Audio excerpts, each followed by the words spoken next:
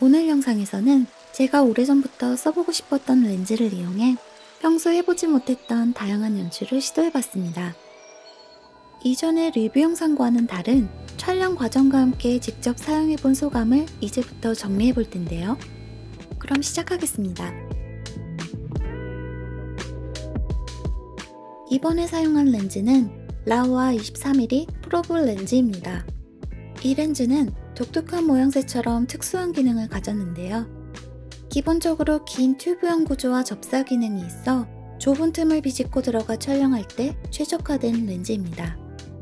영상에서와 같이 작은 디테일의 인형집 사이를 잘 피해가며 멋진 장면을 연출할 수 있었는데요. 40cm나 되는 렌즈 배럴 덕분에 카메라가 들어갈 수 없는 공간에서도 높은 활용도를 보여줬습니다. 여기서 초점거리가 24mm의 광각이라는 것도 참 재밌는데요. 일반 렌즈로는 원하는 화각을 찾기 어려운 상황에서도 광각의 이점을 살려 더 많은 배경 정보를 담을 수 있다는 점입니다. 화면처럼 장난감 피자 화덕의 안쪽까지 wide하게 담아주기 때문에 망원 화각의 일반 접사 렌즈를 사용했을 때와는 완전히 다른 결과물입니다.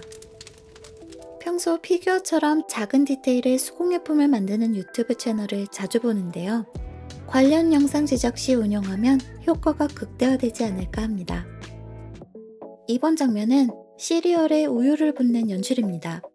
상자 안에 렌즈가 들어갈 수 있게 만든 다음 카메라 rig의 rod를 길게 연장해서 상자를 고정하는 방식으로 촬영했습니다. 이 부분에서도 튜브형의 렌즈 구조로 인해 상자 내부에 시리얼을 담아둘 공간을 확보할 수 있어 쉬운 연출이 가능했습니다. 이어서 우유를 따르는 장면인데요. 입구가 넓은 용기를 선택해서 내부에 담긴 우유와 따르는 장면을 동시에 연출해봤습니다. 짧은 타이밍에 맞춰 우유를 따라야 하기 때문에 고속 촬영을 했는데요. 여기서도 렌즈의 넓은 화각 덕분에 용기 안의 우유가 잘 표현된 것 같습니다. 이번엔 제품 광고 스타일로 연출해봤습니다. 튜브형 LED 조명을 사용해서 빛의 움직임을 통해 제품 로고가 부각되도록 담았는데요.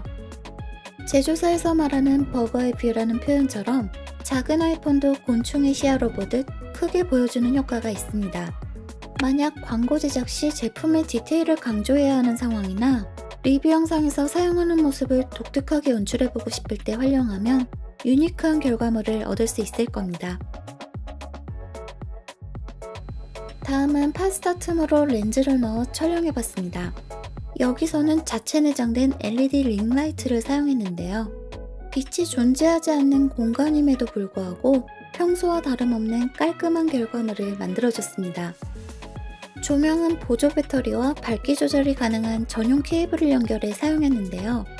광량이 기대 이상으로 높은 편이기에 조리개를 40까지 닫아둔 상태에서 최대 밝기를 사용하지 않아도 된다는 점이 놀라웠습니다.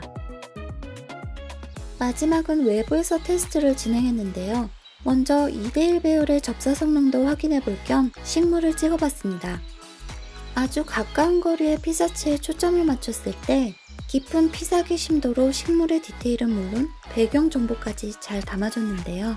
다만 렌즈 구조상 흔들림에 취약해서 손으로 들고 찍을 때는 주의가 필요해 보였습니다. 조리개와 포커스링 역시 매끄럽게 조작이 편했는데요. 별도의 cine 버전이 있는 렌즈인 만큼 focus breathing 현상도 육안으로 전혀 느껴지지 않게 억제되는 것을 확인했습니다. 제가 이번에 실제 곤충 촬영을 하지 못했던 부분이 참 아쉬웠는데요. 파충류나 움직임이 빠른 곤충처럼 거리를 두고 촬영해야 하는 경우에 정말 유용해 보입니다. 참고로 렌즈 전면은 방수 처리가 되어 있어 물고기가 사는 연못에도 넣을 수 있었는데요. 직경이 2cm로 작기 때문에 물고기들에게도 위화감을 주지 않고 촬영이 가능했습니다. 게다가 물속을 full frame 카메라로 찍을 수 있다는 건 역시 정말 큰 장점 같네요. 다음엔 음식 영상에서 활용해 볼 생각인데 벌써부터 기대가 큽니다. 이렇게 라오와 23mm probe 렌즈를 사용해 봤습니다. 독특한 외형을 가진 만큼 일반 렌즈와는 전혀 다른 경험을 해볼 수 있었는데요. quality 높은 이미지를 손쉽게 만들어주는 장점이 존재하면서도 이 개성 강한 특징이 때로는 단점으로 작용할 수 있으므로 렌즈에 대한 이해도가 충분히 필요한 제품이기도 했습니다. 하지만 대체 불가능한 장점이 더 큰 매력으로 다가오기에 아마추어부터 프로 영상 제작자까지 누구나 사용해보고 싶은 렌즈라는 점에서는 이견이 없을 거라는 확신이 드네요. 오늘 영상이 제품 선택에 도움이 되면 좋겠습니다. 그럼 이쯤에서 영상을 마칠게요. 감사합니다.